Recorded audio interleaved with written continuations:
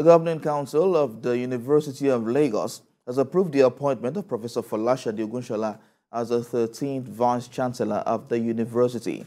The appointment was made known at the end of the special meeting of Council held on Friday, October 7, 2022. The appointment is for five years with effect from Saturday, November 12, 2022 to Thursday, November 11, 2027. While still talking education, as teachers celebrate World Teachers Day with the theme Transformation of Education Begins with Teachers, the Ajeromi Ifelodun branch of the Nation, National Union of Teachers says teachers are the catalyst to the nation's development.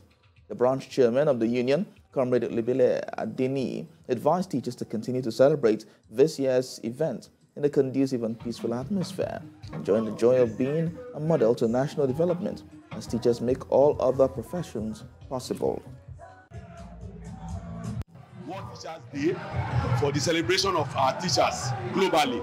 And uh, as a result of that, Ajeromi Felodu is no exception. Uh, that is why we also call out our teachers for today's event to come and celebrate with all of us. At least to relax and to make themselves uh, stress-free. We are the catalysts for the transformation and development of any nation.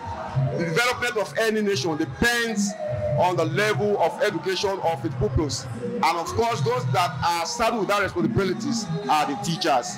So I'm so happy, so elated being a teacher, being one of those that is changing the life of people, molding the lives of people, and changing the for better. If they do it well, they will make it. And there is no place they'll find themselves it. Uh, everything is not about money, but integrity, good behavior.